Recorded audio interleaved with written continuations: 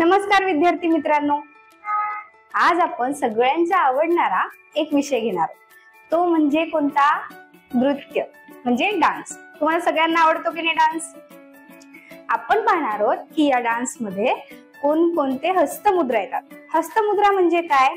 हाताच्या हाताच्या बोटाच्या ज्या हालचाली केल्या जातात एखादी नृत्य करताना गाण्याच्या आवाजाप्रमाणे किंवा भावनेप्रमाणे जेव्हा एखादं नृत्य सादर केलं जातं तेव्हा आपल्या हाताच्या बोटाच्या ज्या हालचाली केल्या जातात त्यालाच हस्तमुद्रा असे म्हणतात. आता ह्या हस्तमुद्रा किती प्रकारच्या आहेत? तर हस्तमुद्रा आहेत तीन प्रकारच्या. कोणकोणत्या?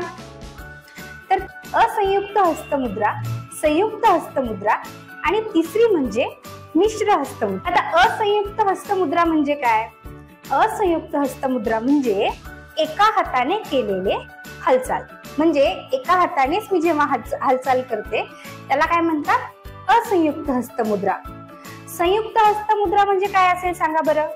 संयुक्त हस्तमुद्रा म्हणजे दोन्ही हाताने जेव्हा मी हाताच्या हालचाली करते त्या असतात संयुक्त हस्तमुद्रा.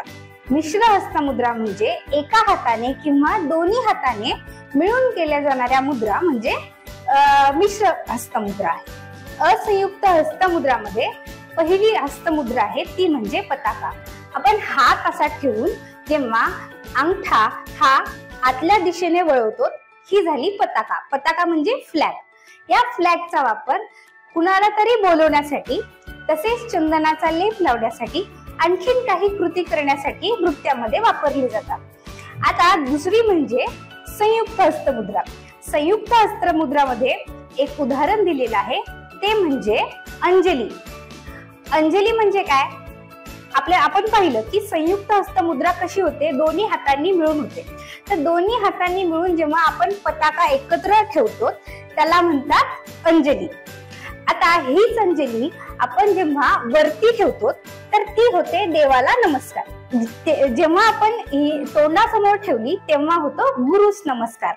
आणि जेव्हा आपल्या चेस्ट समोर ठेवली तेव्हा होतो समोरच्यांना म्हणजे प्रजेस नमस्कार. बरोबर? मिश्र हस्तमुद्रामध्ये संयुक्त हस्तमुद्रा असंयुक्त हस्तमुद्रा या दोन्ही मिळून येतात. म्हणजे त्यामध्ये पताका सुद्धा येतो आणि अंजली सुद्धा येते. त्यामुळे या नृत्य हस्तमुद्रामुळे मध्ये आपण दोन्ही हाताचा वापर करून मुद्रा वापरू शकतो. तर आपण काय पाहिलं की तीन हस्तमुद्रा पाहिले आणि त्यांचा वापर पाहिला. आपण आता पुढच्या भागात पाहणार आहोत की भारतामध्ये तसेच महाराष्ट्रामध्ये विविध असे नृत्य प्रकार कोणते आहेत? आणि आपण पाहणार आहोत की ऍक्शन सॉन्ग कसे करायचे? म्हणजे एखादे जर सॉन्ग चलत असतील एखादे जर गाणं चलत असेल तर त्याच्याप्रमाणे कसं नृत्य करायचं असतं? यमक कसा जुळवायचा असतो? हे आपण पुढच्या भागामध्ये पाहणार आहोत. धन्यवाद!